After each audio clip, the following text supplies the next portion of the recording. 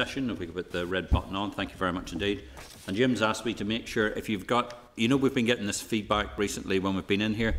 If you've got your phones, can you stick them on uh, airplane mode? Because you can still receive emails and stuff by Wi-Fi, but it's just the airplane mode, and it'll prevent sort of interference with the recording. If we're happy with that, then we'll look, have a quick look at the agenda. Uh, no apologies. Uh, Jim Wells is going to be in about 10 minutes, uh, about 10 minutes late. Uh, can we remind members to declare any relevant financial or other interests at the committee meeting as applicable? Jim, obviously your business with the, with the bill. Any others? Okay. Uh, move on to the draft minutes of proceedings of the 3rd of June. Inform minutes, members the draft minutes of the meeting of the 3rd of June are at page 5. Members, are we content that the draft minutes are an accurate record of proceedings? Okay. And if we agree for the minutes to be published on the website? Agreed? Great. Uh, matters arising. Not me. Oh. Uh, matters arising, no matters arising at present. Uh, just before uh, Sue comes in uh, for the oral evidence, the Minister's first day brief, uh, I just want to make sure with the uh, letter that we've received that's come from the Minister uh, was dated today and it's on particular reference to the Joint Order for Personal Protection Equipment. And in the commentary, it says your original request was for all relevant emails between officials in the department and the Irish government. I note your request for further, uh, further correspondence relates to PPE equipment specifications and pricing. That's there. Uh, one of the questions I have, and I've sent an email back to you, uh, I heard the Minister this morning very clearly on Good Morning Ulster stating that the uh, order was not with the Irish Government. It was in fact with the procurement agency and he was at some pains to do that. So I think I'll be looking for some clarity, particularly on that question. Chair, if, if I could come in there too, uh, that whole wording I think is wrong and misleading. Uh, our original request was for all relevant emails. The Minister, I think, in his Hansard the day he was here on the 8th, said that he was prepared to, to give us all email trails. I think the terminology he uses. He then goes on to talk about, uh, I note your request for further correspondence we never asked for more correspondence. We asked for all the correspondence in the first place. We then had to dig in order to find out that there was days missing and emails missing. Uh, and then when we asked for that again, he's, he's, treating that as a further request. It's not. It's the original request all over again. Mm. Uh, nine weeks now mm. since they were in front of this committee. So this is substandard and really poor. Any other comments? Could I comment? Jim. Um, this matter surprised me considerably because my understanding of the first communication from the department in declining the emails was couched in terms these are incidental and insignificant matters. You don't need to see them. Uh, now we're at the opposite end of the spectrum of being told they're commercially sensitive. If they're commercially sensitive today, they were commercially sensitive nine weeks ago. And so, so how, why are we having contradictory stories uh, spun to us about this matter? I, I do really think, Chair, we've reached the point where the committee should uh, commence the process of exercising its powers under Section 44. Yep. Any other comments? Sorry, to the chair, I didn't just get the last part of what Mr. Allister said there.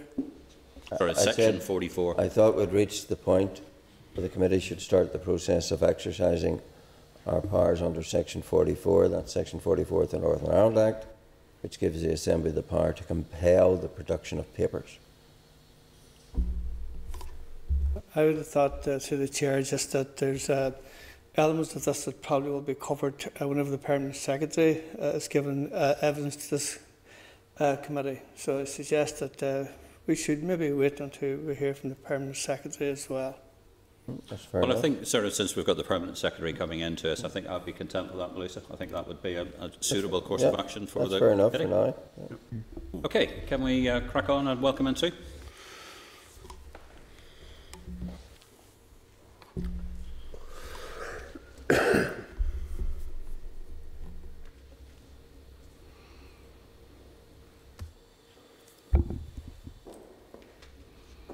Sue, come on on in. Hello. Hello. Welcome. Thanks. It's been at least ooh, two, three weeks since we've seen you. Exactly. I was thinking that before I came in. This is about my fourth. Well, I know it's not about. It is my fourth time here Uh, in as many months. no. Well, we welcome you, and it's great to see you again. Thank you very much. Um, you mightn't think that afterwards, but it is great to see you anyhow. Um, I just want to draw members' attention to the papers relating to this agenda item. Obviously, first item is this uh, letter that we received from the Minister of Finance today, reference uh, PPE. Uh, Clerk's brief on page 12, uh, correspondence from USU on page 14, Department of Finance first day brief, January 2020, page 15, Departmental Issues Paper, page 23. Exemptions and related public interest tests on page 83. A further copy of the Departmental Issues Paper with many of the redactions removed, which is page, page 7. A further clerk's brief, including suggested line question pa- table page 3. Letter from the chairperson to the minister, read the first day brief and redactions, page 113. Correspondence from Permanent Secretary regarding the first day brief meeting on page 114 and an email from the Perm Sec regarding the first day brief meeting on page 116. There's quite a lot there for us all to digest. Sue, if you don't mind, can you make an opening statement? Yeah, of course. Thank you. Look, um, thank you for the opportunity to brief the committee and to provide some context on the first day brief and departmental issues document that I provide that I provided to the minister. The department, first of all, we had our, our eight-day first, pay, first day briefing for the minister, which was given to him immediately on entering office. And then subsequently to that, we provided a longer issues document as a more detailed position of the ongoing issues in the department. Um, I think this was a very important thing to do. We had, you know, not had an executive for three years. Uh, lots of issues to bring the minister up to speed on. And actually, one of the lessons, you know, learning from RHI was to actually, you know, give that give that detail. Um, the material provided then to the committee contained FOI redactions, and I take full responsibility for that. And I am very sorry that that uh, that that happened. Um, that was a misjudgment, and uh, we should not have done that. Uh, but I fully accept the powers that statutory, you know, that the committee has. Um, my subsequent request to meet with you, uh, Chair and the Deputy Chair, was to explain the reasons behind some of the redactions. And once again, I thought I was not trying to do anything behind anybody's backs. I thought that would be an acceptable practice here. You have to remember that, you know, this is a bit of a learning curve for me as well, working with committees here, very different. Um, and in my last job, I would regularly have had uh, discussions with the chair of the committee that, we, that my department would have shadowed. So no offence was intended, and I realise that I have also caused a bit of offence on that. That was not my intention in doing so. Um, so I think there, you know, as you said in the outset, um, as time has moved on, um, the redactions have become less. Um, uh, but there are still some redactions, and I have obviously said that any discussion of those I would like to have in closed session. I will, once again, you know, I haven't meant to offend anybody. I will, of course, be guided by you about how that should best happen. Um, but, you know, that's, that's me. Okay. Well, for the particular areas about, if it, the ones you want to talk about specifically that remain redacted, we can go into closed session if necessary to do that with the committee's approval, and then we can discuss that. Agreed? We're moving into closed session. Well, do, you- Chair, do, do we want to have the open session first and then whatever can't be answered go into closed session? No, I think I, on this occasion, I'll take the chair. So I would like to hear what is being redacted, and then we can go into open session because that will help inform where we're going to, rather than the other way around. Because then we'll have to go out and come back in again. Okay. So do this. As if we go into, if we're agreed, Great. So I would say, Chair, just before you, I I would, th- I would say it's, it's therefore incumbent on, if we're agreeing to the closed session in order to discuss specifically commercially sensitive matters or areas which might be commercially sensitive or whatever, whatever the reason for the redaction is, people would need to be cognizant of the fact that when we go back into open session, they will need to Forget what the forget what they've, or, or not refer explicitly. I, I, I trust the members of this committee, Matthew, that we will be suitably Okay. um, we will Thank be you. suitably uh, agreed and make sure that we don't transgress that particular line. To my party colleague, I think you were too long in Whitehall. I think, I think you might, I think you might, I think you might apply that to both of us. Not enough, or not enough. Right, uh, we're about to go into closed session. Mark, can you just make us go into closed session? Right, back in open session. Team, have we any questions to ask the Permanent Secretary? Paul?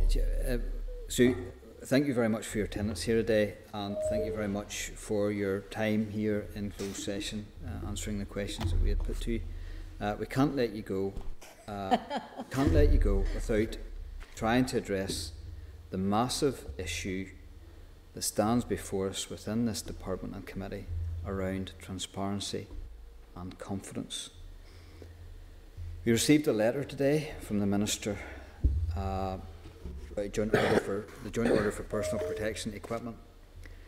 In that letter, he talks about, and I take grievance with it. He talks about or further request, or the request for further correspondence, which relates to PPE quantities, specification, and pricing.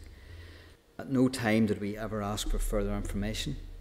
What we asked for at the start, when you were here on the 8th of April, you and the Minister, we asked for all emails in connection to this order.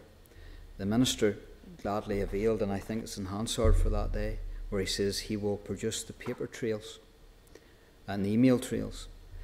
Uh, nine weeks later, we are still awaiting some of those emails. Now, I note in his letter today, he's saying that they're commercially sensitive, uh, have implications for commercial interests of other jurisdictions and international transactions, both current and in the future.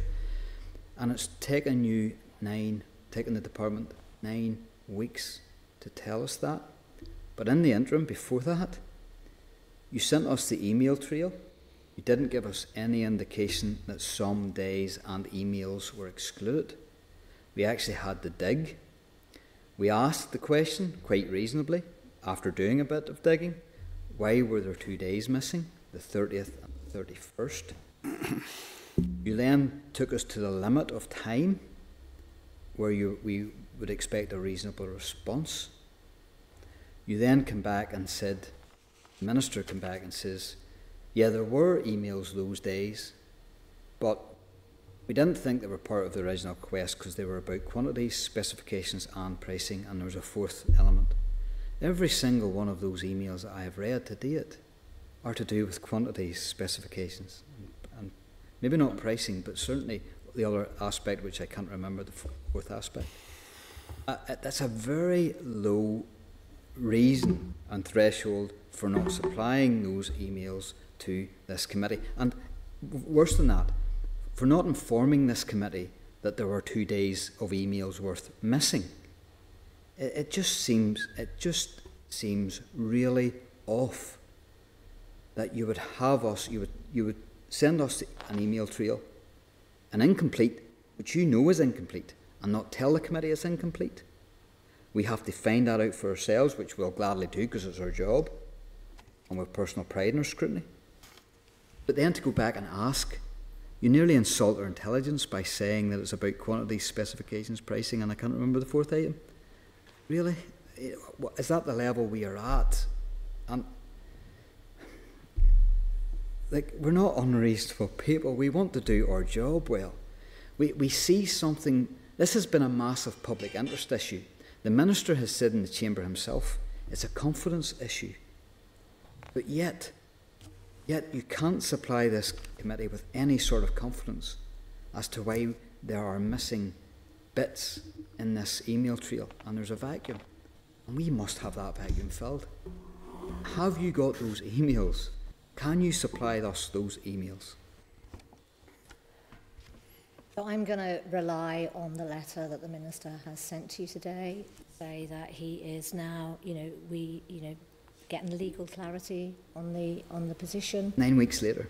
Well, um, I can, you know, we have a letter today. That is the minister's position. Three paragraphs.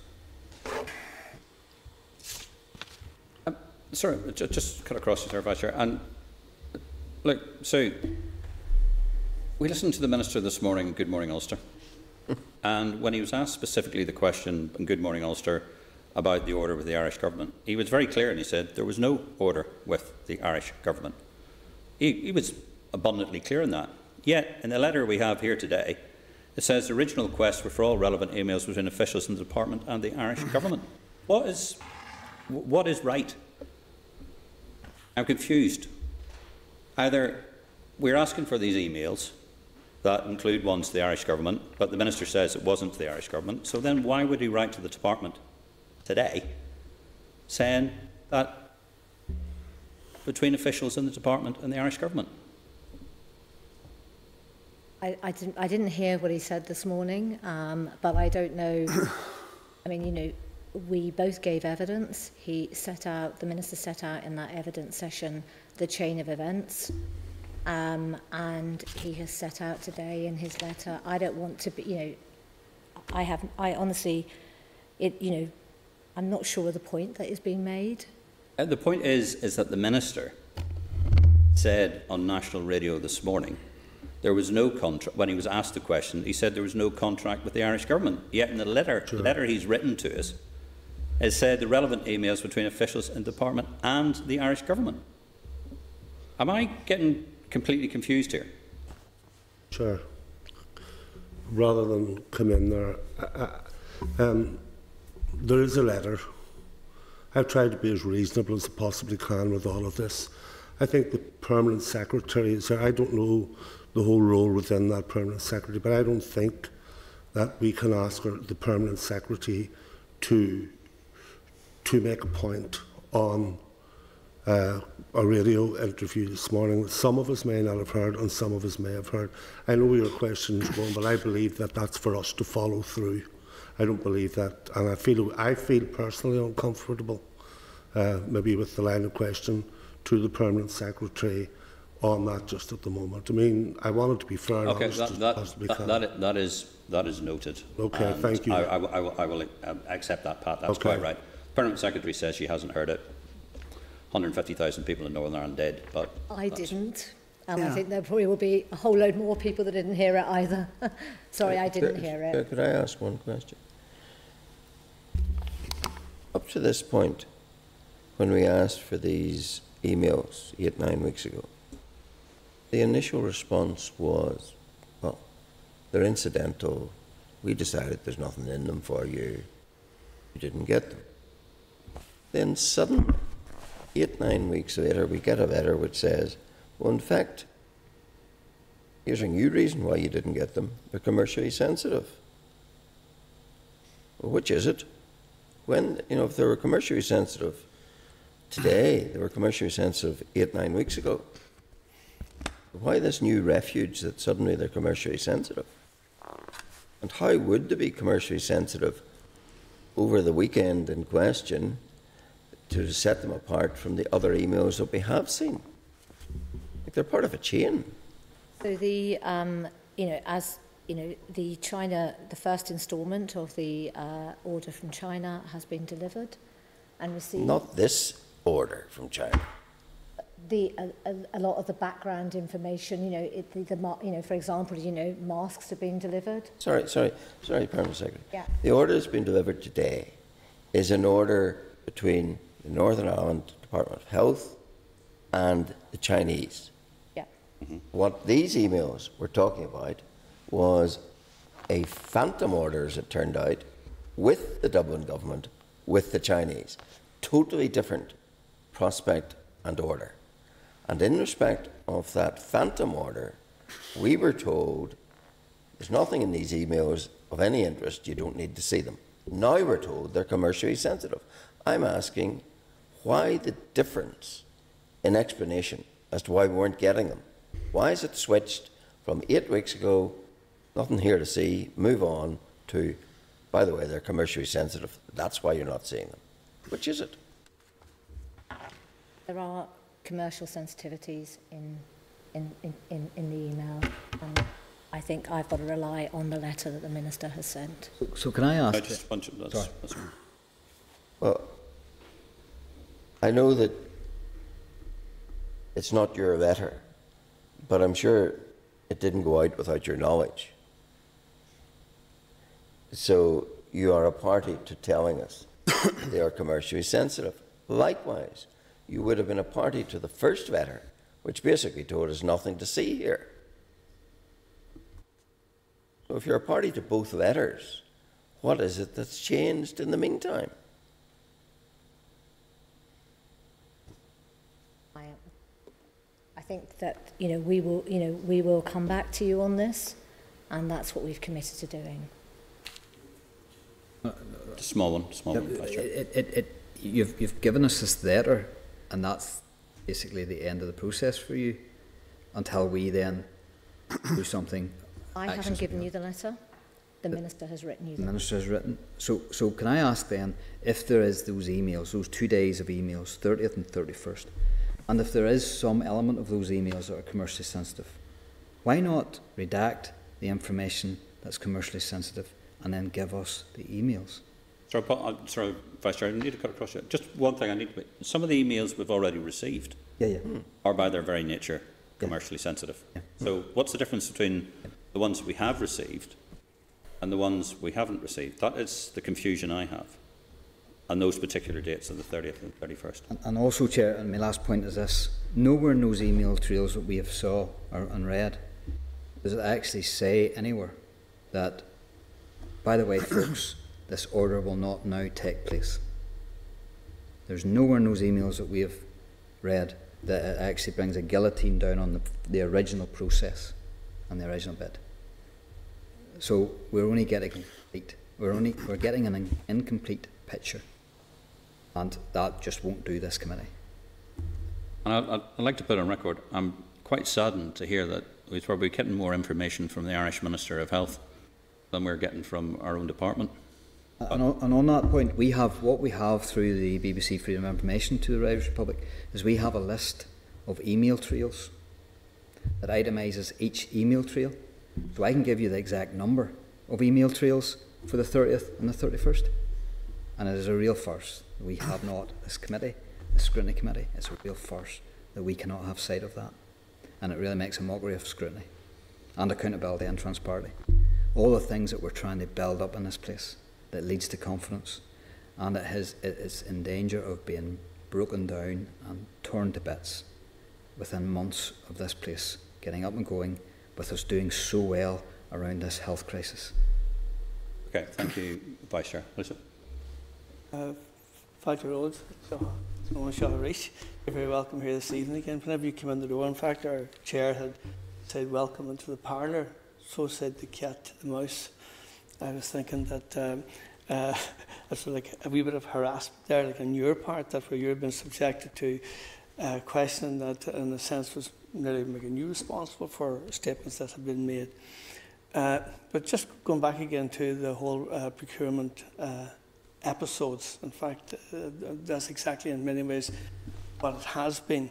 Uh, from the outset, and I think that the Minister had uh, answered adequately here whenever he did say that all the attempts that they had made initially to set up the uh, lines of communication and with the, the suppliers in China through uh, their efforts with the Dublin government, that, that had broken down. Uh, that essentially that we can see now uh, the flourishing of a lot of their work between the Minister of Finance and the Health Minister as well too. When in fact they have not only procured uh, the PPEs as required, and we've had the first uh, 60 million of that delivered, but they also have established uh, lines of communication as well too uh, with the suppliers and that in China.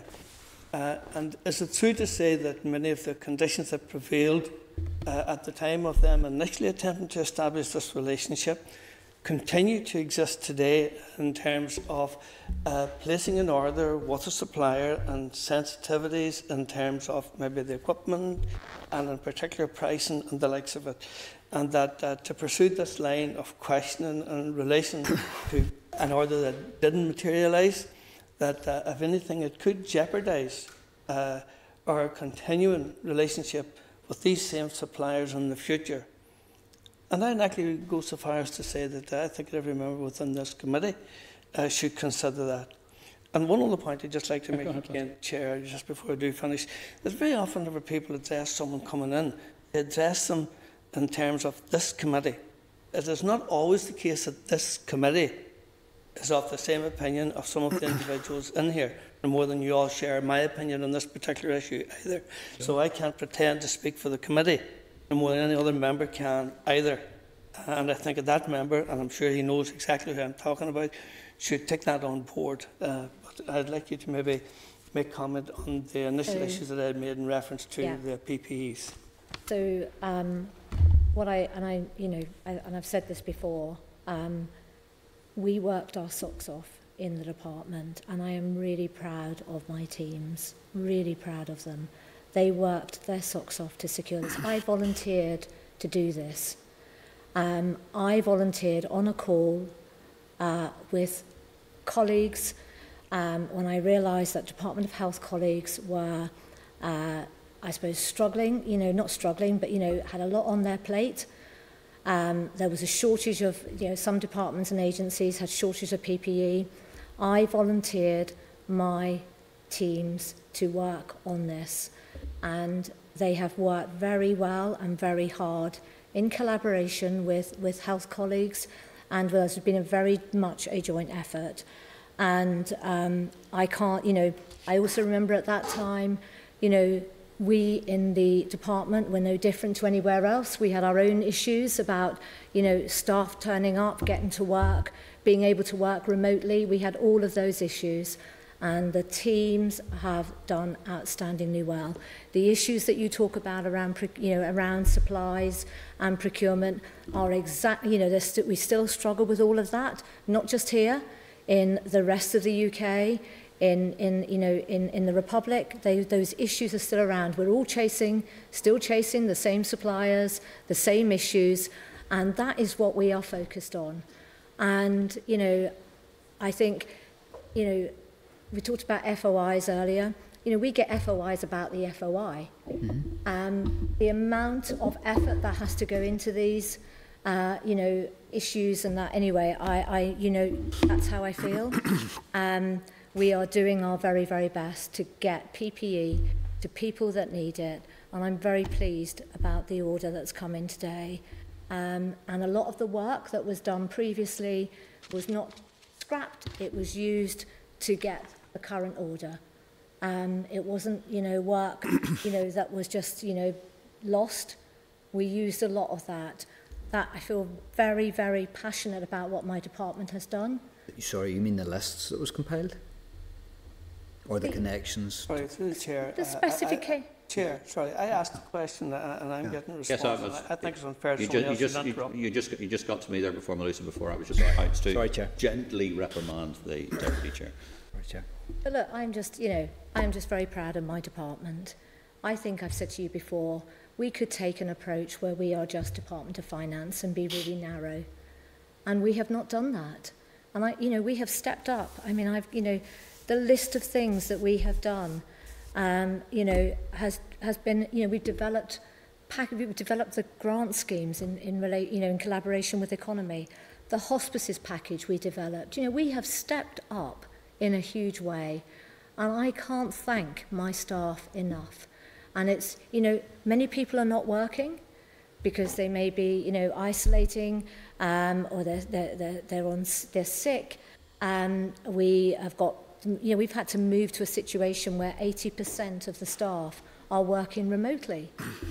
that's not something that's actually straightforward. You don't just walk in from a situation where you have everybody in the department one day and the next day they're working remotely. You've got to get used to all of that. You've got to put a lot of effort into making that all work.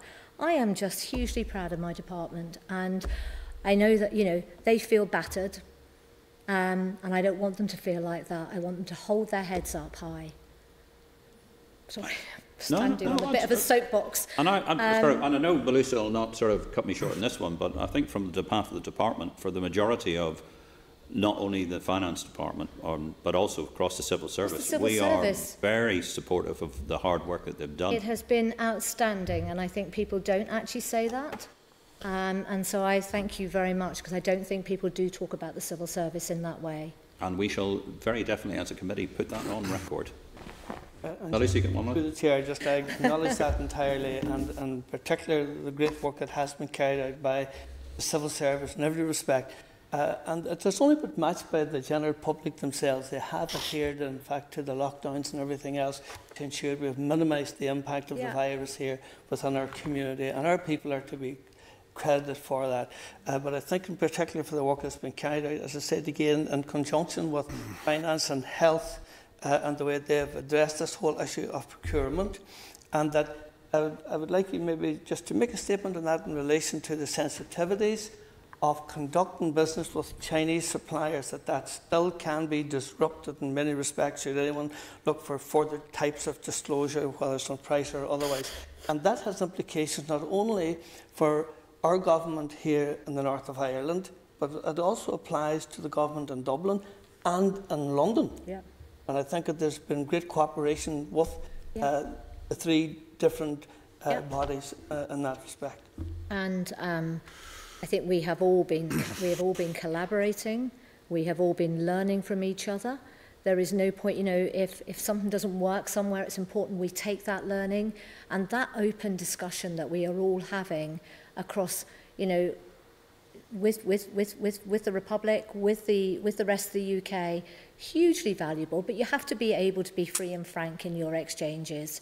Um, and, you know, I think that the China route is a very important route for all of us and is going to be for some time.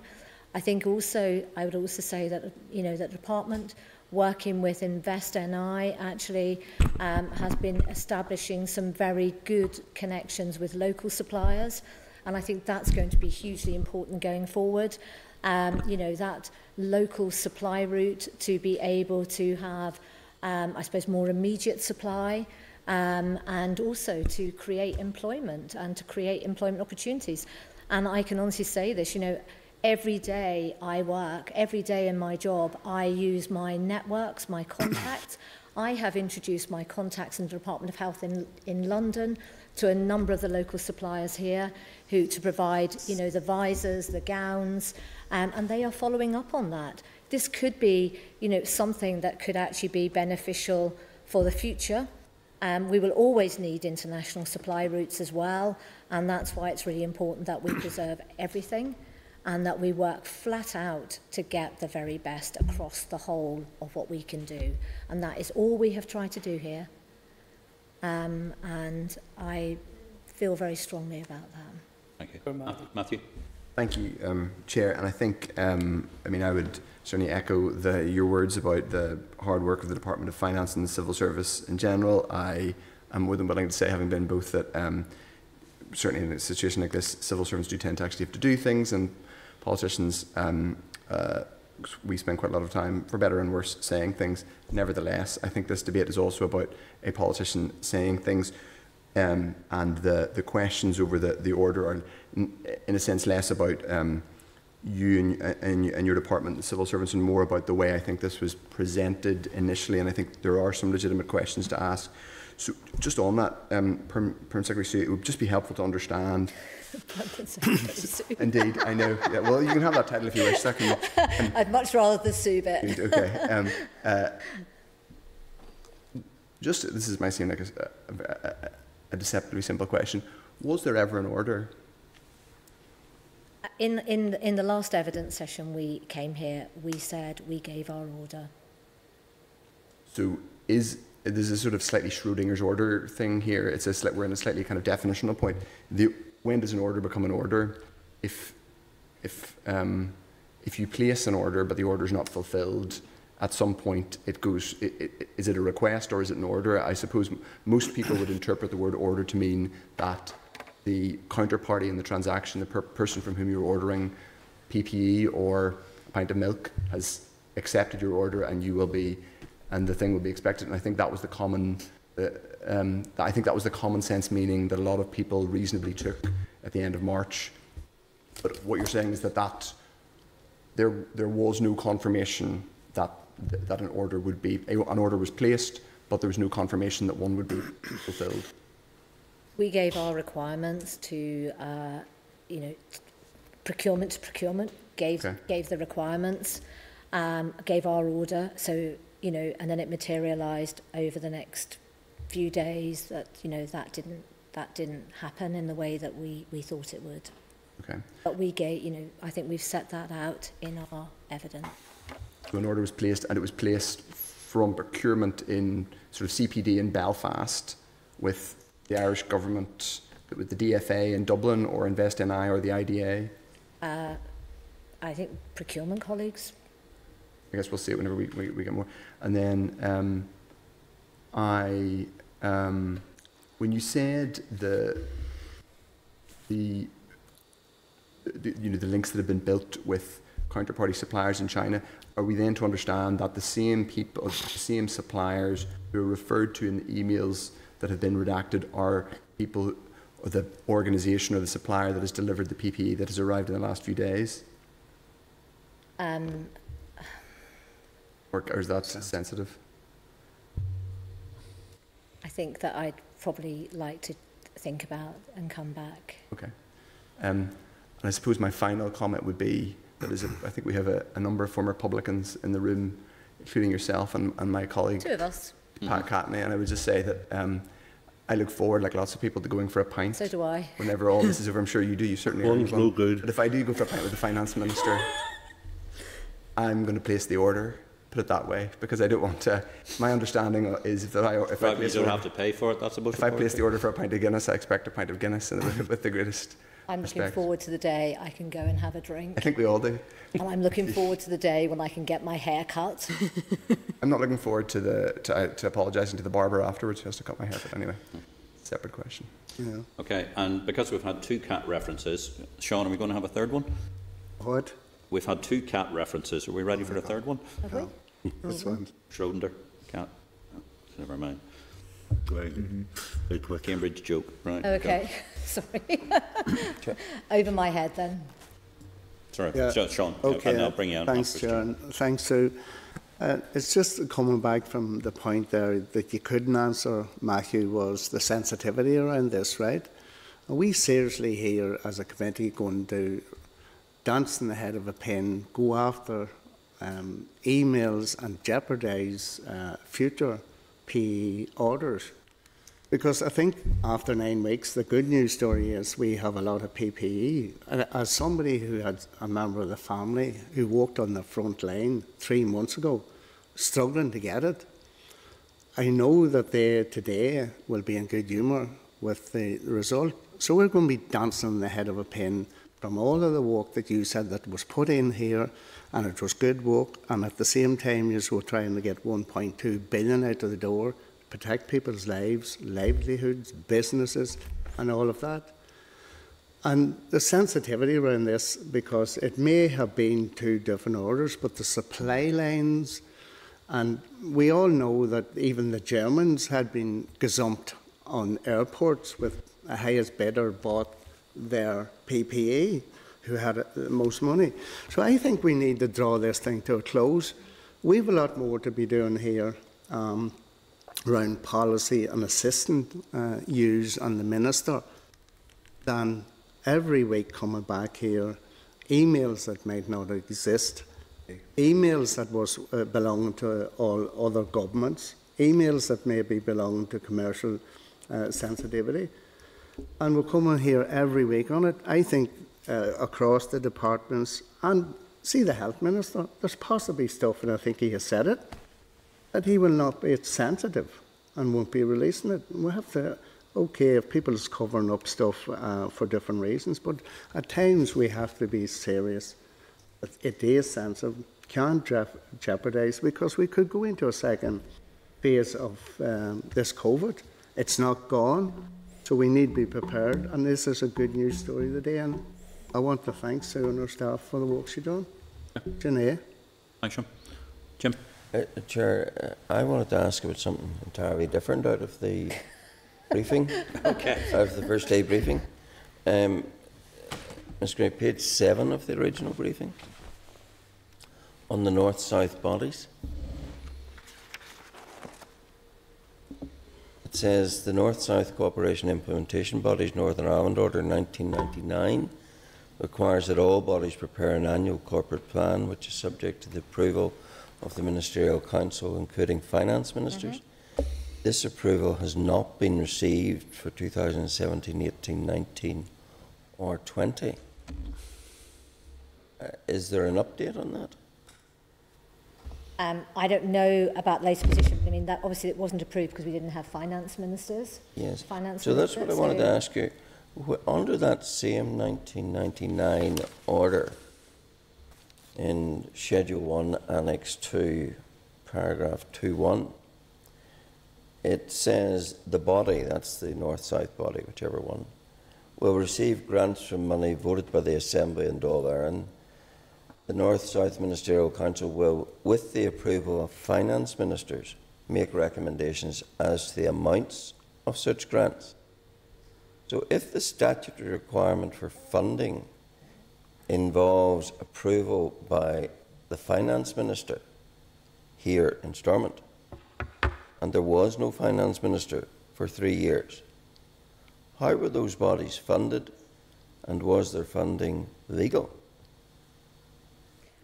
I will have to come back to you on that. I wouldn't, I, I can't answer those questions and it's not because I'm trying not to answer. I don't know. I, would be obliged because I think it is important to establish for this committee that the expending of money is authorised. Yep. If the statute requirement is it requires approval of the finance minister, and it seems self-evident it couldn't be given unless it came from Westminster. Maybe you could clarify that. I, I can definitely do that. Then I'd like to know how those north-south bodies continue to spend money, and if their expenditure was illegal, um, have the accounts of the various oversight bodies been qualified in that regard? I will take that away. That's okay. I might say, say to you, the language body only laid its accounts for 2017 on the 24th of April this year. Three years late. That doesn't. I, sorry. Yep. Okay. Okay. Uh, I think just before just before we draw to close, so and so you'll be glad to think you're coming out of here. Just to go back, and there's a comment you made about sort of sensitivities, and I think both Maolíosa and sort of Sean have alluded to them about um, uh, procurement, and we're looking at procurement. If we were going through, and I need to be correct in this one, but if you're going through the European Procurement Agency or any of those sort of issues as well, isn't that open and transparent with the people who you're doing the procurement with? And how is that any different from, let's say, the order that uh, the UK government has made in Turkey, um, the orders that have made other places? Because isn't that subject to normal competition processes?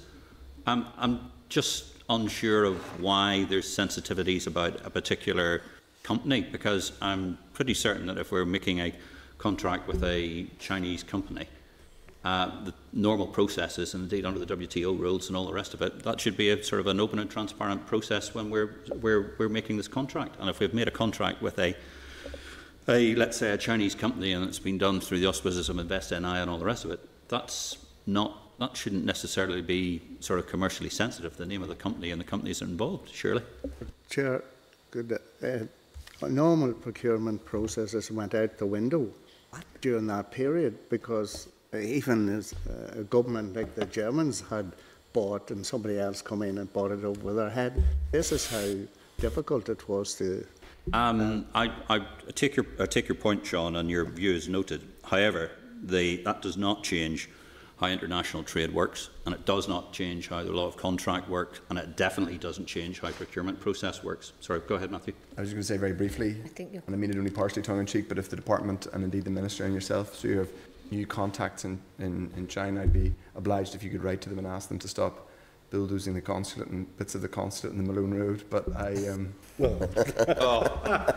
That's, Oh, that's, that, that, that's out. I give you I give I give you that one. That's That's The Great Wall of China. Clear an interest. But seriously, Sue, I think, that, I think that to be fair, I think that Matthew's question was slightly different. Yeah. I think he was asking about the, you know, were they, uh, about the company involved in, with the, with the Irish government and the company for the same, I was asking if they were the same Yeah, company. yeah, I think that was a slightly different question. yeah. But there should be no reason whatsoever we do not we know we should know who this contract is with and which company this is with. This has been public monies. This is being done on a procurement process. If this was being done in Europe, we would know exactly who the company was and what the bid was. There would be a procurement process. There's WTO rules that cause exactly the same thing. I don't accept the fact that this has to be kept. I don't think, I don't think, I, so I didn't, I actually thought I was answering a different question earlier. Oh, sorry, no, this is the question I'm asking. Okay, so um, I think the company has been, uh, annou- I think it was part of the statement. No? Not what I've seen. Okay, I, So, so if I can add to that, it's not really the company we're purchasing things off that I'm concerned about. It's it's the procurement process.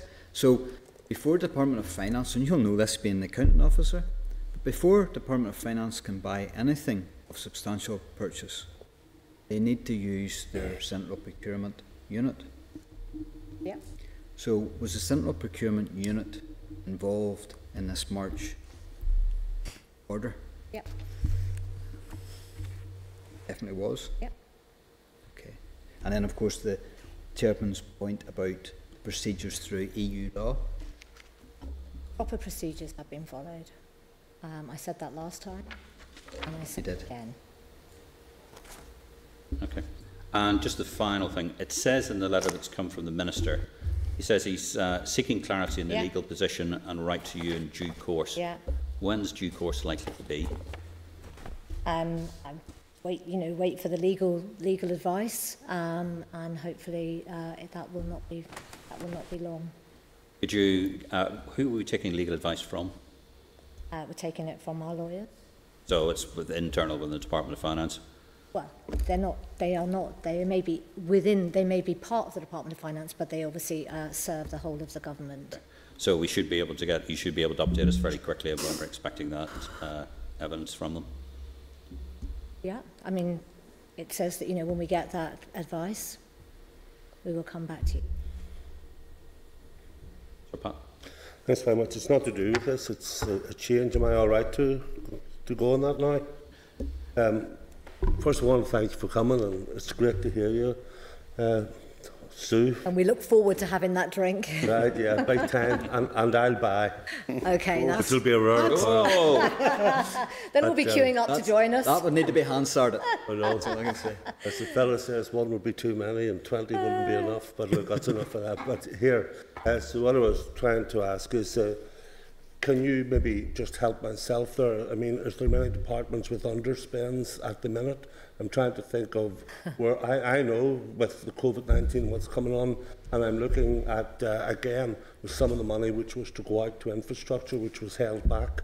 Uh, is, could you give us as a committee any idea, uh, any lead on Yeah, that, on the so- monitoring rounds coming forward? So right? um, we, the, the monitoring round, the reprioritisation round, they are all underway at the moment. Um, I think we've come to you with our, I think we've written to you with our um, issues for our department. Um, we, um, uh, in all departments, they have come forward with their, you know, the areas where they have potential savings, but obviously they have, I, I suppose overall the pressures are bigger. Um, so uh, that is that you know, and we we're going. That's an ongoing discussion that is underway at the moment between ourselves and departments, um, and with a view to wrapping that up as quickly as we can, and you know, going to the executive to see where the pri- you know for that discussion on priorities, um, and how that will be taken forward. okay. Right, the cats are finished. Thank you. Thank you. So thank you very much indeed. Can indeed. I just make a suggestion or two? Certainly. Yes, yes, please. so um, I, I mean, I do think, you know, like, for example, your APD issue, you know, your APD issue, really interesting.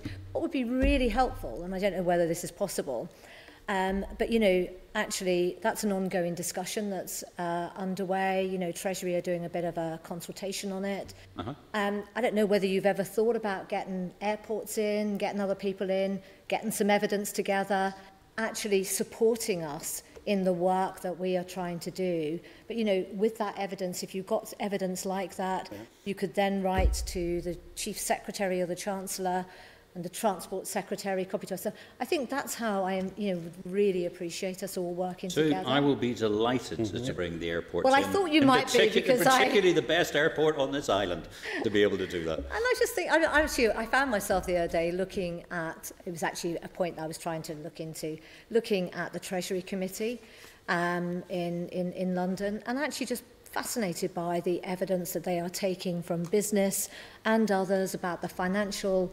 implications of COVID and you know the future. And I just wonder I, I don't know because I'm obviously quite new to this sort of process whether there's anything like that that you could do which I think can only be helpful to us. Um, In the spirit of partnership and cooperation that we all respond to and we all as a committee would wish to be part of, we'll, we'll discuss it, but we'd be delighted to help in any way. I just think that would just be a good thing for you for you to do okay Thank you. Thank you, Sue. You. Cheers. Thank you personally. thank you And all. just those Well, items we had in closed session, I'll not mention the figure, but you were going to get back to us I will that. do Thank you. I will do And of course, we look forward to the emails. of course Oh, we we do, do of look forward to course the we do. Okay. Thank you very much indeed, Sue. Thank, you. Look forward to that night out, Pat. Well, great. I'll come quick enough. Oh, See you Sure, tough Make for sure a to car. confirm the order whenever you order those drinks. We'll have you there as well, and you can buy the second round. I, I, so before I made my first my first booking for a hotel yesterday. It's in Connemara, so it better be open by the time. See you all soon. Okay, all the best. Uh, cheers. Thanks, Sue. Ray, are you there? Ray? Hello?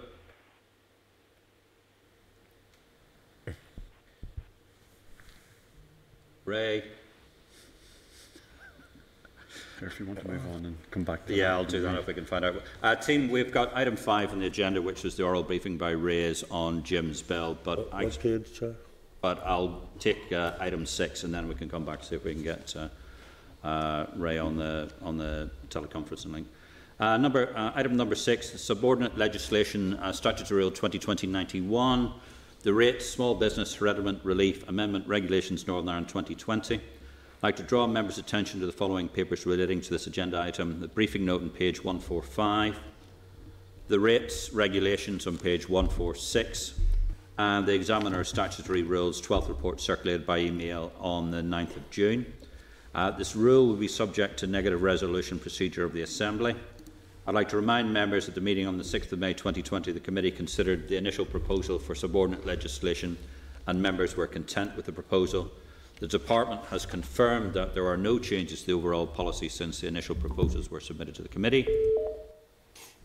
I'd like to inform members in the Examiner Statute Rules 12th report of session 2019-20, published on the 8th of June, the Examiner has confirmed that she is raising no points by the rule by way of technical scrutiny. Uh, members, if we are content, can I put the question to you? Content. Uh, content, the, the Committee for Finance has considered statutory rule, statutory rule 2020 number 91, the rate small business hereditament relief amendment regulations Northern Ireland 2020 and has no objection to the rule. Are we content? Content. Agreed. And If we move on to agenda item number seven, statutory rule 2020-92, the rates coronavirus emergency relief regulations Northern Ireland 2020. I'd like to draw members' attention to the following papers. The briefing note on page 152, the rates regulations on page 154, and the examiner statutory rules 12th report was circulated on the 9th of June. I'd like to inform the members this will be subject to negative resolution procedure before the Assembly. I'd remind the members that at our meeting on the 6th of May, the committee considered the initial proposals for subordinate legislation and members were content with the proposal. And as a meeting on the 3rd of June, the committee considered the changes to the proposal and was content that the statutory rule reflected the rate relief provided that the rule was increased from three months to four months. We are content, yes. Uh, inform members in the Examiner Statutory Rules 12th report on, published on the 8th of June. The Examiner has confirmed that she is raising no points about the rule by way of technical scrutiny. And if members are content, are we content? Put, the, put it to the question.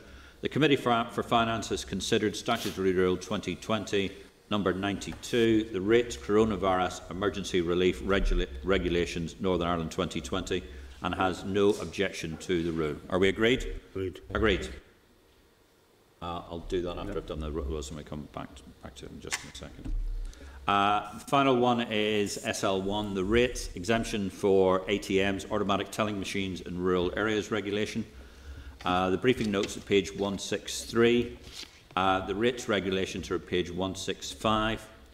Uh, the purpose of the draft rule is to reinstate the previous applied rates exemption for separate entities and the valuation list associated with ATMs in a designated rural area. Uh, the rule is subject to affirmative resolution procedure before the Assembly. Statutory rule subject to affirmative procedure shall not come into operation unless affirmed by the Assembly. I'd like to advise members this is the committee's opportunity to consider the policy set out in the SL1 as it's not possible to amend this once the rule has been made and laid in the Assembly Business Office. Do we have any comments?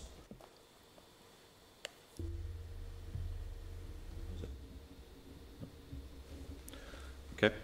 If we're agreed, I'd like to put to the committee that the committee has considered Department of Finance proposal for subordinate legislation, the rates exemption for automatic telling machines in rural areas and has no objection to the policy implications of the proposed legislation at this stage. Are we agreed? Agreed. agreed. Thank you very much indeed. Now, can we... Ray, are you there? Yes, Chair, I'm here. Can you hear me okay? Uh, can we hear... Everybody, can we hear yes. Ray? Yes. It sounds like he's in a cave. Are you in a cave, Ray? Uh, no, I'm just in the kitchen. uh, team, this is the oral briefing by Ray's a research paper on the functioning of government and miscellaneous provision bill. That's uh, Jim's bill, obviously. I'd like to draw members' attention to the following paper relating to this agenda item, a paper prepared by Rays to inform consideration of the bill on page 118. And Ray, can you make your presentation on the paper, please? Yeah, sure. Chair, Um, so, good afternoon, members. Um, I am aware that the committee has already had a number of evidence sessions in relation to the bill. So, what I intend to do is really to draw comparisons where appropriate uh, with the situation in other jurisdictions um, regarding some of the, the key clauses. And just to always caveat, comparing the Northern Ireland institutions, they, they do obviously stand apart in, in several regards compared to elsewhere. Um, but turning first to, to, Clause 1, the amendment of the Civil Service Special Advisors Act, Northern Ireland 2013, uh, which deals with the hierarchy of special advisors. So the bill would essentially limit any perceived hierarchy of special advisors to within the executive office. Um, in terms of relevant comparisons, uh, Section 7 of the Code of Conduct for Special Advisors in the UK Government does appear to allow for management responsibilities for special advisors in relation only to other special advisors, and they are expressly prohibited from exercising management in relation to any other part of the, the civil service. Uh, and similar wording uh, appears in the, in the Scottish and, and Welsh codes. Um, on the issue of disciplinary matters and special advisors, um, the bill states that the code must provide that special advisors are subject to the processes and procedures of the disciplinary code operative in the NICS, and that there can be no ministerial involvement or interference in that process. It also says that a minister who appoints a special advisor is responsible for their management, conduct, and adherence to the code of conduct. Um, now, of course, as members are aware, the updated Code of Conduct for Special Advisors published on the 20th of January 2020 um, makes clear that the responsibility for the management and conduct of special advisors, including their discipline, rests with the minister who made the appointment. Um, so, what, what is the, the, situation in other jurisdictions? Well, the UK Government uh, Code of Conduct for Special Advisors said that responsibility for matters relating to conduct and discipline does rest with the appointing minister. Um, but it also makes clear that the Prime Minister can terminate the employment of a special advisor by withholding his or her consent to an appointment. Um, in Scotland, it's slightly different because the First Minister is responsible for appointing um, all special advisors, essentially. It is also their responsibility to deal with uh, disciplinary matters, uh, and this is also the case in Wales. Uh, and th- indeed, this includes adherence to the Code of Conduct. So, the role of the appointing minister Prime Minister and First Minister uh, are really central to the discipline of special advisors elsewhere in the UK. Uh, and I do think it interesting to, to, note the role of the First Ministers in Scotland and Wales uh, in um, really the discretion they have in the, the, appointment and oversight of all special advisors. Um, turning to look at the number and remuneration of special advisors, um, well, Part 1, Section 16 of the Constitutional Reform and Governance Act 2010 stipulates that the UK, Scottish and Welsh governments should prepare annual reports for their respective parliaments with information on numbers and costs of special advisors. And the paper includes the example of Scotland, um, where salaries for special advisors are determined either by a special advisors remuneration committee or by any alternative mechanism that may be put in place following discussion and agreement with the First Minister.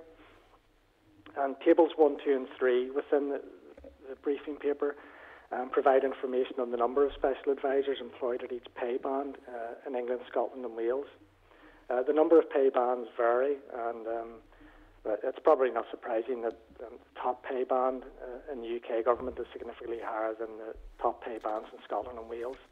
Um, although across all three uh, of those higher pay bands, there aren't that many special advisors uh, on the on those higher tiers. Um, moving on quickly, just to the number of special advisors in the executive office, um, which would amend the Civil Service uh, Commissioners NI Order 1999. Um, and this sort of does tie in with what I've said previously on the role played by the appointing ministers and first ministers in appointing special advisors elsewhere. Um, so the bill seeks to limit the number of special advisors within the executive office by limiting the first and deputy first minister to one special advisor each. In Westminster, the UK Ministerial Code provides that, with the exception of the Prime Minister, cabinet ministers may each appoint up to two special advisors. Uh, furthermore, the Prime Minister may also authorise the appointment of special advisers who regularly attend Cabinet. Um, now, the Republic of Ireland is, is, interesting in this regard in terms of how they, they go about their appointments process. Uh, there, a minister or minister of state may request approval from the may request approval for the appointment of a special advisor in accordance with Section 11 of the Public Service Management Act 1997. And What's interesting is if the proposed individual comes from outside the civil service, the appointment requires further approval by the Taoiseach. Uh, and also in the Republic of Ireland, ministers and ministers of state who regularly attend cabinet meetings can have a maximum of two special advisors. Uh, any other minister of state can have one. Um, I'll turn briefly to address section 6 of the paper, which deals with administ- administrative type clauses. I'll, return to section 5 because I think it sort of sits outside uh, this somewhat. Um, so really, Table 5 attempts to set out the comparisons across the UK jurisdictions in terms of record keeping, records of contacts and presence of officials at meetings. And essentially, the codes uh, of the UK governments and Scottish governments require a private secretary or official to be present for all discussions relating to government business. Uh, in circumstances where a private secretary or official cannot be present, any significant content should be reported back. And then just, just quickly on the issue of using official systems to communicate, uh, which Clause 9 of the Bill addresses. Um, this is actually something that has arisen in the recent past. Um, as the paper notes, the First Minister in Scotland and the former First, uh, First Minister in Wales have both been involved in controversy for using uh, personal email accounts to conduct government business. And in 2017, six ministers in the Republic of Ireland admitted to using non government email accounts to conduct government business. Um, and essentially, in all of the cases, there didn't really appear to be agreement as to what extent any rules had been breached or how to actually address those situation, situations. Um, Cabinet Office guidance from 2013 um, does allow for other forms of electronic communication to be used in the course of conducting government business. Um, but it does state, however, that substantive discussions or decisions generated in the course of conducting government business should be made accessible, for example, by copying it to a government email address. Um, in terms of registers of interest for special advisors, uh, in the Republic of Ireland, special advisors whose remuneration exceeds the prescribed amount, um, and just in preparation for this presentation, uh, I think that that is somewhere in the region of 91,000 euro. Um, must prepare and furnish a statement of the, their registerable interests. Um, and these are interests which could reasonably be seen as interfering or being incompatible with their uh, official duties. And that register has to be submitted to the Minister and the, the Oireachtas. Um, and just as an aside, I think as of July 2019, four ministers had special advisors who, whose pay sort of essentially breached that prescribed amount.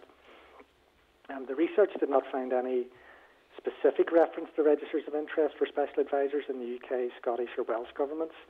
Um, it's interesting to note in Scotland, the Lobbying Act of 2016 requires lobbies to register the names of persons lobbied, which includes ministers and special advisors. But uh, I didn't see anything whereby special advisors would sort of have to do the, the reverse.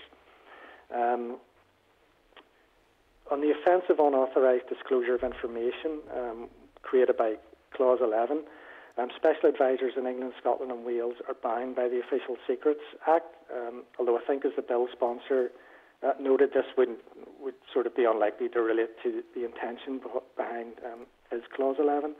Um, and the model contracts for special advisors serving in the UK, Scottish, and Welsh governments um, makes clear the requirement for, for confidentiality. And finally, Chair, just moving on, uh, or moving back to section 5 of the paper. So this looks at the proposed role for the Commissioner for Standards uh, and the bill's uh, enhanced remit for the Commissioner uh, for investigating alleged breaches of the Ministerial Code.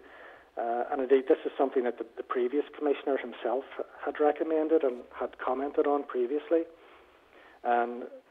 The, the, New Decade New Approach document sets out how a, panel of three Commissioners for Ministerial Standards will be appointed uh, to investigate complaints that a Minister has breached the, the Ministerial Code. Um, but of course, any sanctions would, would remain a matter for the relevant party stroke assembly process. So, looking at how breaches, how breaches of ministerial code um, elsewhere are investigated, um, the first thing to say is that there's currently no provision for standards commissioners uh, within other legislatures to investigate ministers. Um, this is the case in England, Scotland, and Wales.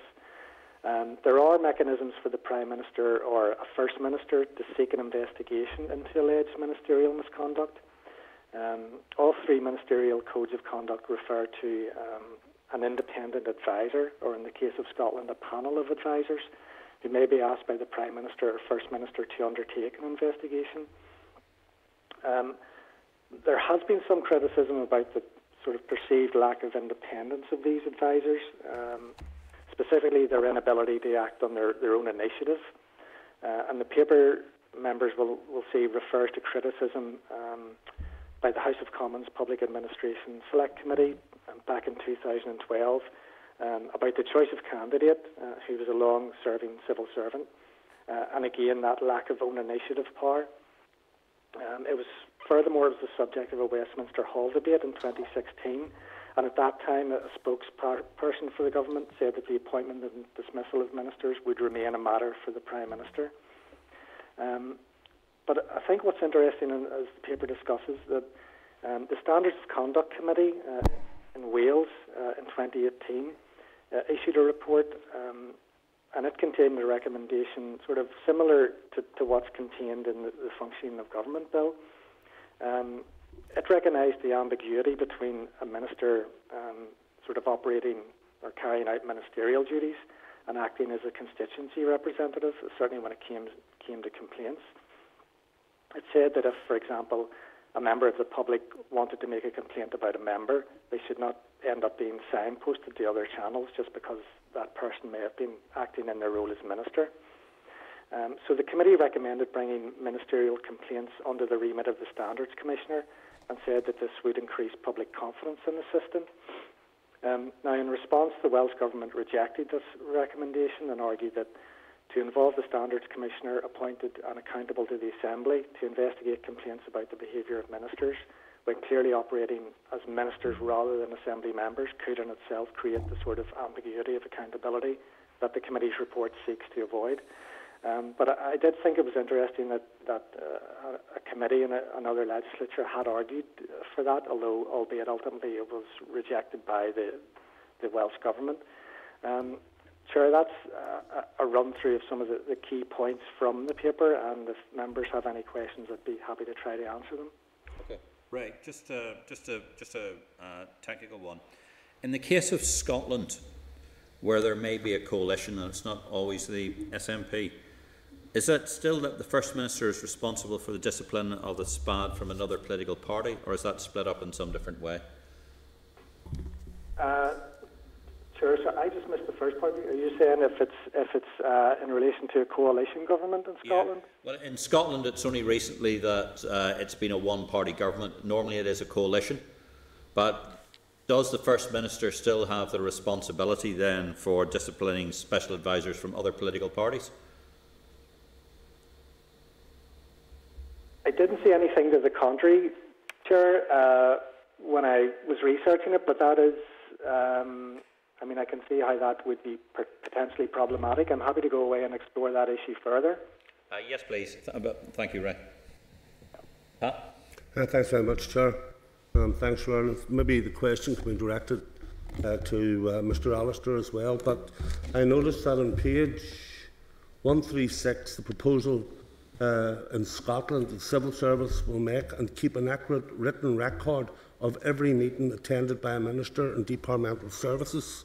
Um, I just want to note that Jim's bill how do we go about, I mean, that would, is there some way that that could, could be written into it? It was just to ask Mr Allister himself or uh, the uh, gentleman there from uh, Rays. Well, uh, Well, uh, sorry, any You go ahead, Ray. Uh, it's well, it's probably a, an issue for the bill sponsor to answer, if, um, rather than myself. Jim? Yeah, well, uh, if I might, it's one of the issues that has been raised elsewhere, and it's a matter that I'm contemplating an amendment to put it in statutory form, because I think it's a good idea. So yes, it's something that I'm cognizant of and hoping to deal with. And that, that is possible as this bill goes through, that that can be amended in order Oh, to bring that in. Absolutely. That'd be good. Thank you, Chair. Okay, thanks, sir. Jim? Yeah, uh, Ray, I just wanted to uh, take you back to clause five, um, and the idea of extending the role of the Standards Commissioner to also examine breaches of the ministerial code. As you pointed out, the Standards Commissioner uh, himself, who we last had in Northern Ireland, um, indicated that could be done very cheaply and indicated a willingness, um, in accordance with an Assembly resolution to that effect, uh, to undertake that role. But could I ask you just to compare and contrast that idea with what's in New Decade, New Approach? And can you confirm that the following is correct? The Standards Commissioner, to whom I want to give these powers, is someone whose independence is guaranteed under the 2011 Act, uh, and he is recruited by open uh, competition, whereas the three additional commissioners suggested a New Decade, New Approach would be handpicked by the First Minister and the Deputy First Minister, even though they'd be investigating complaints against ministers over whom they have the majority, most of the ministers that would be subject to control. First of all, is that correct? That there, there would be open competition for the Standards Commissioner's appointment and his independence would be clear from that, as opposed to the New Decade, New Approach. Is that correct? That would be my understanding, yes. Yeah. And secondly, in relation to the investigative powers, is it correct that the Assembly Commissioner under the 2011 Act has the power to call and to compel witnesses, to command the production of papers, and to take evidence under oath? But there would be no such power for any of the commissioners uh, if we went down the new decade, new approach route. Is that right? I'm reasonably confident to say yes, that within the remit of the Standards Commissioner. Um, Well, I can assure you it is. It's sections 28, 30, and 31 of the 2011 Act. He has powers to call, compel witnesses, produce papers, take evidence on oath. All those things are spelt out in statute. There would be no such uh, powers for the New Decade, New Approach commissioners. Isn't that right? yes, that's my understanding. And the third one, and that is under the 2011 Act establishing the Standards Commissioner, there are, for good reasons, 20 different disqualifications as to who can be appointed to make sure they aren't just an old hack of government, so to speak. There's no such filter in respect of new decade, new approach, isn't that right? Again, that would be my understanding, and as I said, that's one of the, the issues that was raised by the uh, has been raised in Westminster. Yes. And as you pointed out, the Welsh Committee uh, of Standards very much made a proposition quite like what Clause 5 is, isn't that right? Yes, I thought that, that was actually interesting that in a 2018 report they had recommended something similar that now appears in, in the bill. Um, but ultimately it was, was rejected by the Welsh Government. Yeah. Thank you very much. Okay. Any further questions? Ray, thank you, thank you, thank you very much indeed. Okay. Thank Okay. You, Chair. Cheers. Bye. Uh, if we move on to item number nine, chairperson's business, you'd be glad to know there is no chairperson's business. If we move on to item number 10, correspondence, you will not be so happy to notice that we've got a lot of correspondence to look at. Um, The page on there. first of all, uh, first thing is departmental correspondence regarding an overview of annually managed expenditure forecasting on page 172. Members, do we have any comments? Could I have your seeker agreement to note? To note. Uh, departmental response regarding extended rate relief in page 175. Members, have we any comments? Are we content to note? Great. Uh, response from the Institute of Government regarding the functioning of government miscellaneous provisions bill. Uh, asked members if they any comments. And remind members on the 5th of June that uh, Jim, or the clerk, sorry, sought informal agreement to forward the response to the Committee for the Executive Office. And can I seek formal agreement for the purpose of recording in the minutes to forward the response from the Institute of Government to the uh, Committee for the Executive Office? Great. Read. Um, I'll be very disappointed if you don't talk about this one, Matthew. Uh, departmental response regarding air passenger duty on page 178. Yes, um, it is. Um, I mean, I think it's worth putting on the record, and it's not. It's not. It's disappointing, though, in, in one sense, logically not unreasonable for the department and the minister to say that um, it's seeking to uh, negotiate with the Treasury on block grant adjustment that was in, that uh, was agreed in 2012 would effectively weaken the Department of Finance's leverage with the Treasury or its interest with the Treasury in negotiating various other things, um, ongoing negotiations that are particularly acute at the minute. Um, having said that, I think it's worth, I would like to once again put on record how absolutely absurd this position is that we've got into a situation where we are required to reduce two million, more than two million pounds every year from the block grant for long haul flights, which I'm afraid are even less likely to return to us in the current context. But anyway, um, statement over. It's a, th- th- th- it does at least acknowledge and explain the situation. I don't Um, think there's any more. I, I- I wouldn't. I wouldn't. Sub, I don't think the committee should investigate it anymore. Spend any more time on it. I, I agree about investigating any more, but I also agree about the fact that maybe the committee might note the absurdity of it, and we might put on record that we think that the situation where we're paying 2.8 million is coming out of our block grant for essentially nothing is, is to use your language, absurd. And I think we as a committee would like to, uh, if we're in agreement with that, I would like to make that as a formal, uh, a formal note and a formal record. Agreed. Agreed. Okay. Well, thank you, Matthew. Uh, if we move on to the next item, correspondence table, pa- uh, paper at page 68, letter from the Committee for Justice regarding the function of government bill. Ask members if you have any comments.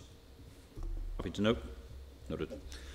Uh, table at page 69, uh, table at page 69, written briefing of the department regarding the fiscal council. Members, have we any comments? Uh, Chair, uh, uh, there was correspondence back from the department uh, on the fiscal council, and they said they haven't got round to looking at it yet. Could we ask them, could we, as the committee, write to the department to start the process of setting this up? As for me, it's very important. Um, can we give a, an ask on that, we, that we write to them and ask them about setting up? They've used COVID. Well, I would like to. I would like to put to the committee that we had today from the permanent secretary, who was saying that there was, you know, she would like us to be able to assist, and I think we could be, uh, we could provide a lot of assistance. So, Yeah.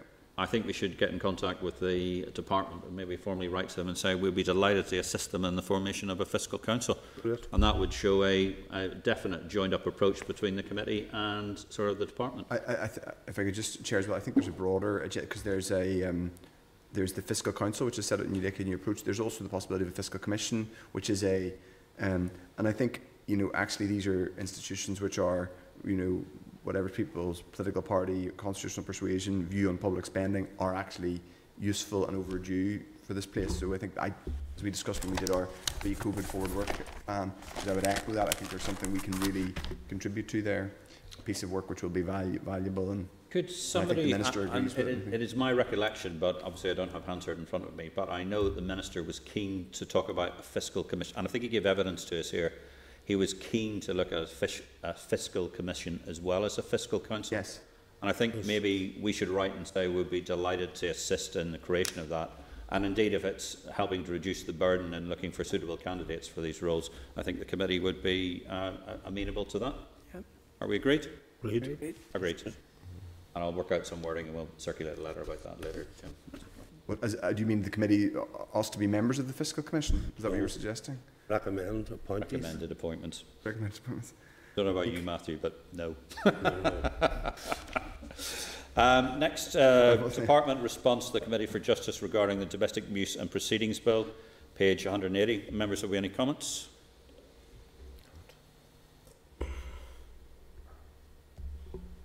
If you're content, happy to note. Noted.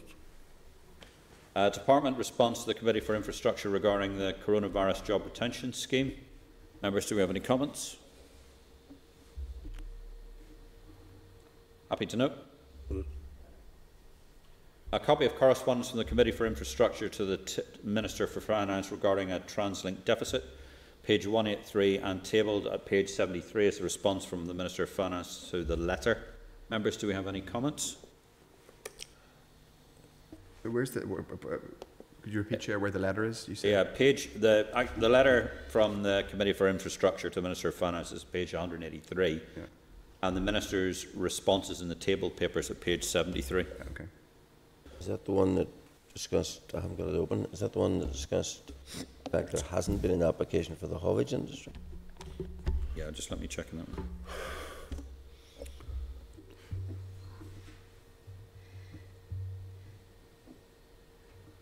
The, That's the TransLink. it's the, the deficit for the TransLink? No, TransLink something, deficit. Sorry.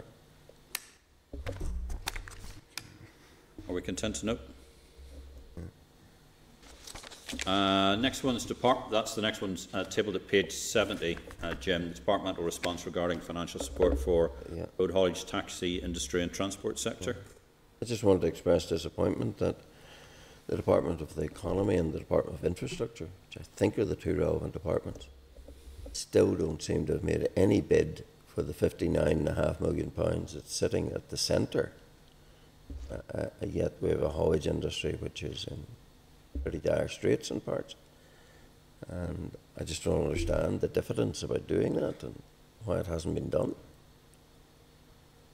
Um, uh, speaking as chair, and having read that and having read that letter twice now, and also listened to what both the Minister for Infrastructure and the Minister for Economy has actually said in the Assembly, and particularly with reference that some of our members have raised questions about the haulage industry, I am more than a little surprised that there hasn't been discussions about ongoing support and what it is likely to do.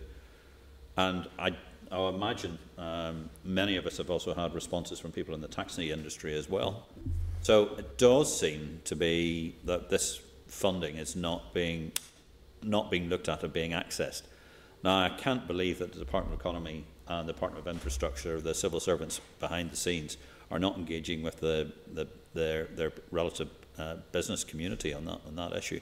I mean, I would just say, um, Chair, if I may, that the, I think the idea that this 59 million is sitting there idly is not quite right. There are enormous and significant acute pressures in the infrastructure department, including money which has not been allocated for our wastewater system, which is on the verge of collapse and is preventing basically house building in, in large parts of Northern Ireland. So I don't think it's the case that this money, and, and there has been a, for whatever reason, a, um, uh, shall we say, a diffidence in terms of allocating some of that money formally to the Department of Infrastructure. So I do not believe it's a, it's a case of it sitting idly. So I, you know, I, I don't think it's we, we can agree now. That, that's not to say that there, there's not an argument for support for the haulage industry. I, I, I wouldn't necessarily dispute that, but I, I, um, I think it would it's not the case that, that as, as far as I'm aware, that that 59 million is um, is sort of waiting to be claimed by, um, uh, by you know.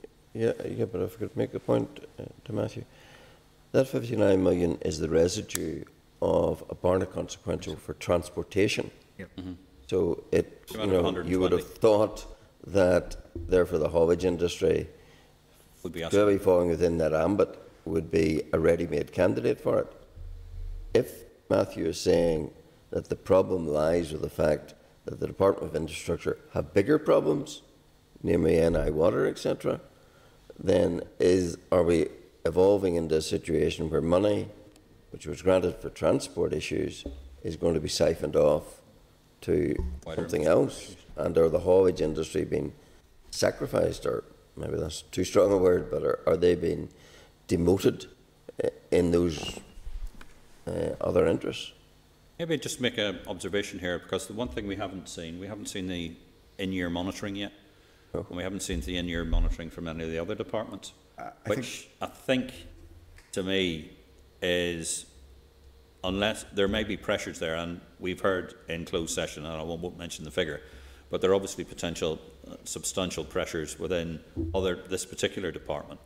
So, uh, again, for this, it does seem anomalous. But the other thing I would say that until we've seen the in-year monitoring position, I think that's I'm not really sure what we could be doing I- at I- stage. I think that's correct, Chair, but I would, and I would also say, the Jim, comment that Jim makes, there is also the question of, it's, it, there is wastewater, but there's also TransLink.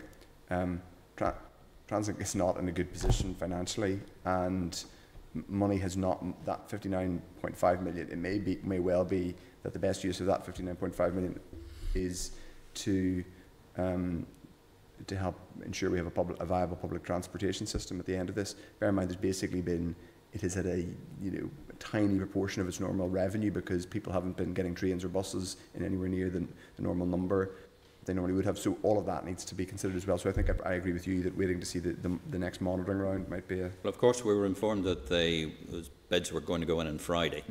So we should be seeing in-year monitoring sure, fairly by the time the monitoring round comes, it's too late, the money's been allocated, as it were. Uh, I must say, I'm suspicious that the haulage industry is being left out there, because two weeks ago, I asked for a Zoom call with the Economy Minister and the Infrastructure Minister and representatives of the haulage industry, and I'm still waiting.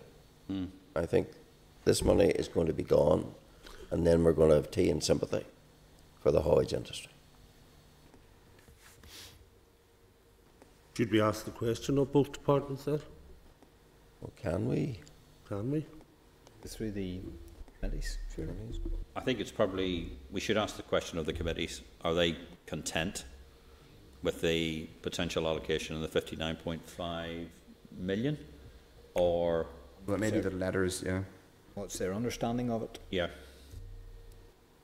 There, there has, Chair, been a, a sort of ongoing correspondence between the Committee for Infrastructure and the Finance Minister in relation to this.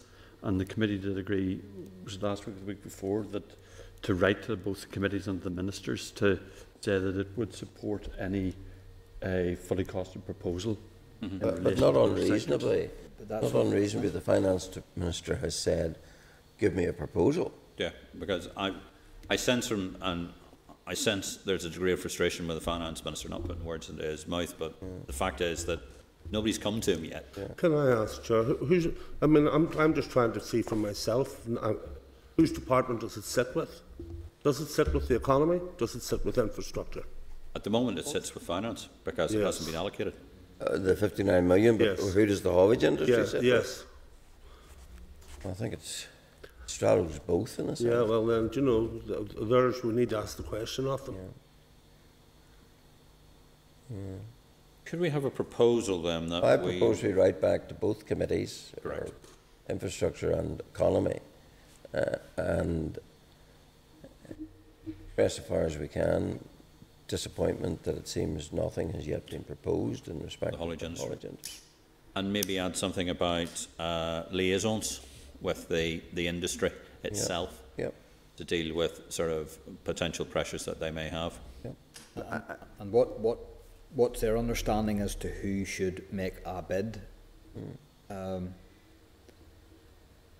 on behalf of the transport industry? Because you can see where there is, I, I think it falls into infrastructure, but, but there's a business element to this, so. Yeah, I think, I think, I mean, it sounds like we are, we are being asked to make, as a committee, we are being asked to make representations um, to effectively adjudicate between different departments and different, or to kind of implicitly, we're being asked to give our view about where certain budget lines might sit in the context of a kind of economic crisis, basically where different sectors require support. Um, and those departments themselves are under acute spending pressure, and it is, um, uh, and you know, both economy and infrastructure have acute spending pressures. I think it is. Um, uh, I don't think our letter should look like forward-leaning in terms of us adjudicating, because we are not. That, that's that's not our job. But if we did want to write a letter, I think it might. One way of doing it might, be saying there have been what are, what are your committee's respective understandings of where responsibility lies for um, outstanding issues or something like that. You know, it's not to say that support for various industries isn't necessary and completely arguable. Of course it is, but I'm not sure we should be endorsing the idea that, that they sit with a, a particular department. Yeah, And I think from our perspective, our view is to overview the finances. There's 59.5 there. We believe there are problems with the haulage industry and the taxi industry and, And other TransLink. industries as well. and we should be, you know, is it, is, is it going to be allocated? If it's not going to be allocated, can we be using it more um, for other, other purposes? And well, the, the, there is an argument about the so there, there's a, there is a definitional challenge. That was a Barnett consequential that came to spend on Transport. on transport. You know, it, perfectly. ar- What you could you could argue, I think, quite reasonably that that um, that you know that would most obviously include the public transportation system, which is TransLink, which is the, the wholly owned public transport system. So I think that needs to be part of how we how we frame how we frame it. I don't know if, if, if it's worth the clerk kind of providing us with a, a draft letter for us to comment on. Ma- Matthew, so- not to disagree with you, colleague, um, but all I want to find out whose department it sits with. Hmm. I, I don't want to go into the technicalities of it all. I want to know does it sit with infrastructure or does it sit with So we economy? can do that clerk to clerk, Pat. Yeah, that's but if fine. it- That's the me. That's what I want there to see, Chair, find so if out. But that's, that's a, it's a different, it's a Yeah. different question we have. But I think the but I think the point is, Pat, that it, sometimes it's not always Black and immediately white. obvious. It's not black and white. Nothing is in this political game. I'm learning. At that stage, with the actions that we have agreed, are we content to move on? Great. Uh, some good news. Uh, page uh, 72, the National Crime Agency has offered to meet with the committee in July. Jim? Chair, it's, uh, they've just confirmed, uh, basically at the start of this meeting, that they're available at 10.30 on, uh, in the morning of the 1st of July. So that'll be before the, the committee week, meeting sir. of that date. Sorry? What, what day of the week's that? That's the, Wednesday. the Wednesday. Sorry, It's say- immediately prior to the committee meeting that Alright. day. Excellent. And just while we're talking Would about... that be here or? I, I think room 115 is booked. It can be extended into the, uh, the members' dining room, so it'll create enough space to... In, in person? They're meeting Yes. in person? Very good. I do. Uh, do you just want to talk about changing the time of... Uh, So- Sorry, Chair, just before you do that, does that mean that the request we made last week for some do- briefing document, anticipating the actual meeting wouldn't be for some time, that there won't be a briefing document before that? I, I'm not sure, but I can check that. Jim, just want to brief about the timing change? Yes, um, because of, of more uh, pressure to, to meet in the Senate chamber, uh, and in an attempt to not restrict committees too much, uh, the committee's been asked to meet in for the next three meetings at 12:30 to 2:30 to allow another committee to come in afterwards for another two-hour slot. I'll agree to that. I think we're content with that. Great. Uh, if we move on then to, I seek your agreement to note the remaining items of correspondence. Noted. Uh, forward work programme, I'd like to inform members of the updated forward work programme uh, to July 2020. Uh, advise members raised research in relation to the function of government bill regarding the Independence Commissioner for Public Appointments Northern Ireland has been scheduled for the meeting on the 1st of July. That should be interesting. Advise members that guidance was issued on behalf of the uh, committee's liaisons, uh, chairperson's liaisons group last week in relation to time slots, which has just been briefed on, and we are content, I understand. Uh, ask members, do we have any other business?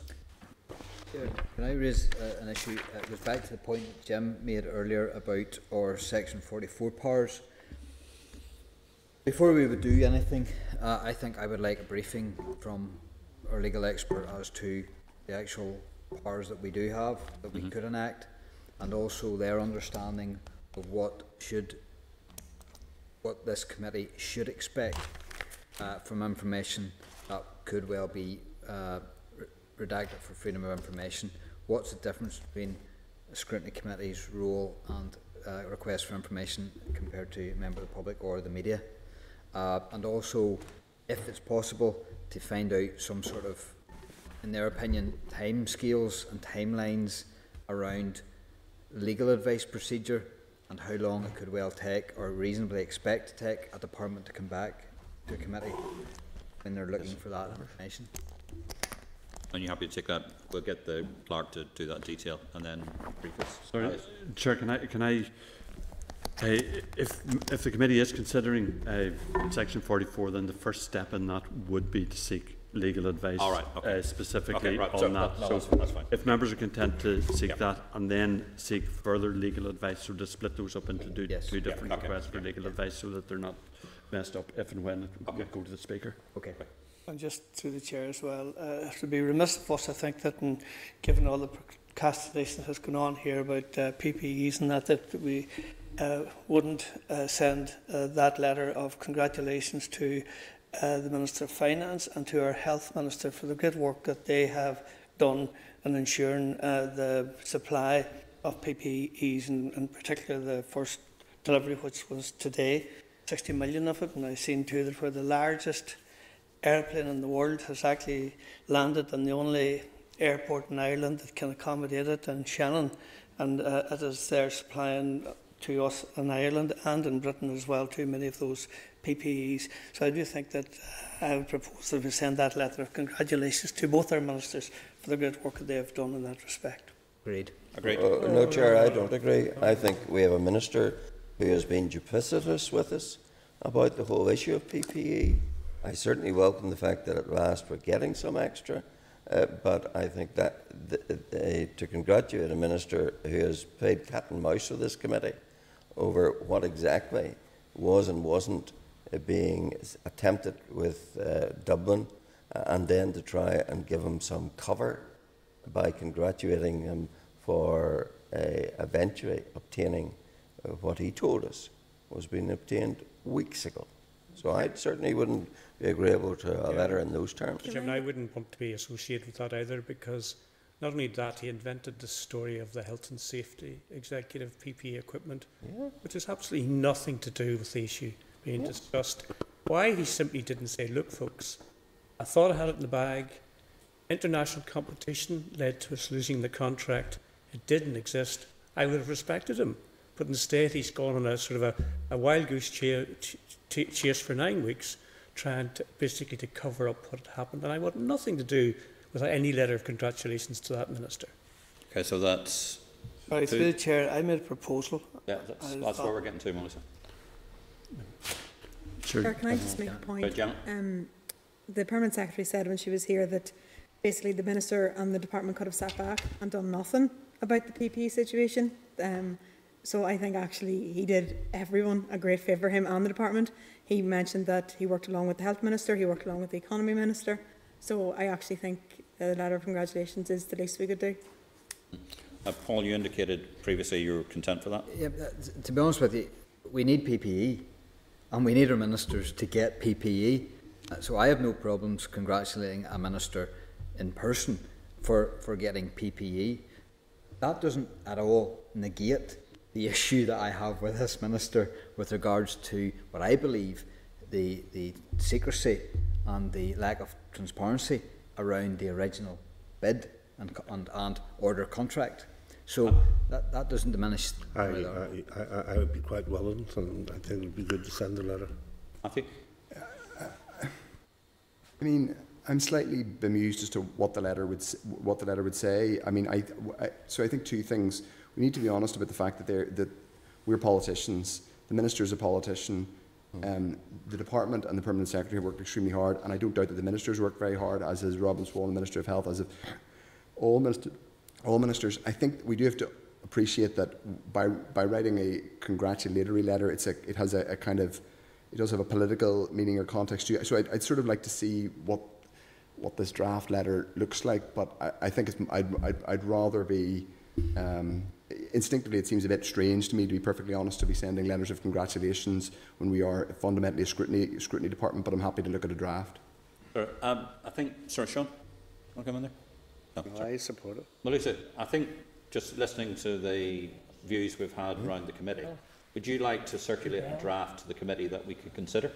Uh, well, I I think that uh, you're quite capable of that yourself, Chairman. In fact, it's not the first time that letters have been sent down from this committee.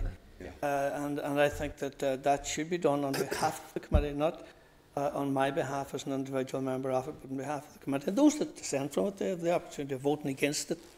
We will. Chair, can I just say, uh, the Permanent Secretary was there today, and I've no doubt that whole team worked hard. We are where we are now. Do you know? So, I mean, uh, we've got this has landed. It's there. There is a all what's went on before that. So, I would be, um, I, I, I would second our, our vote now in order to send a letter to the Health and to the Finance Department Yeah, and by- congratulate By, them. by way of compromise, could we write a congratulatory, congratulatory letter to the minister, and then also within that letter asking for the emails? No. No. right, there's a formal proposal on the, on the table, and I'll second it. So uh, we will, all those in favour Sorry, of... Chair, can I just get a... In, Sorry. uh, do members want to include officials in that too? Yes, Again? yes, absolutely. oh. Yeah, so to, to write to the Minister of Finance and, And the Health. Minister of Health and their officials to congratulate them on their efforts in securing the order for PPE, which was Today's order for delivered on... Was Today's order was... Sorry, could, could we widen out? Because there's been more batches of PPE have arrived over the last number of weeks. Not just this one order. I, uh, but I, I do think that this particular order in itself not only pro- not only provides for our needs at present, but it is an ongoing and continuous uh, process as well to into the future and that. So I do think that they're to be commended for the great work in securing that particular supply line.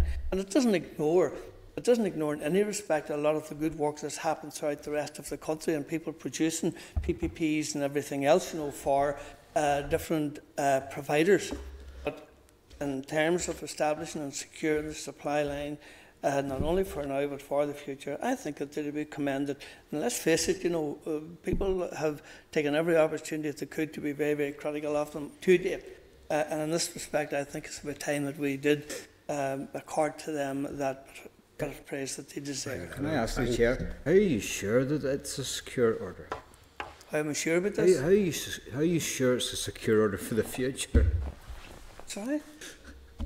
So how, how you, you, you, you say Can I the make a, chair- can I, can I make a chairperson's just wee ruling here? I am of making a chairperson's ruling here. We have reached, we have, I think we've reached the stage where we, I will circulate a draft letter of thanks to the Minister of Finance, Minister to Health, the two departments on the recent PPE order and the moving to PPE. We will circulate it. It'll be up to you to decide whether you agree to it or not. We will ask the people who agree to it at the time or not, and if we get a majority of it, I will sign said letter and um, uh, send it. Agreed. Agreed. All those in favour say aye. Aye. Any against?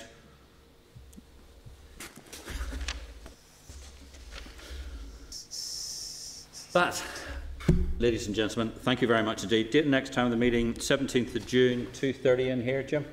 The Uh, 12.30. No, 12.30, Chair, it's been- 12.30, yep. 17th of June, 12.30, yeah. Sorry, Okay. that's it. This is the Northern Ireland Assembly Senate Chamber Programme Sound. This is the Northern Ireland Assembly Senate Chamber Programme Sound.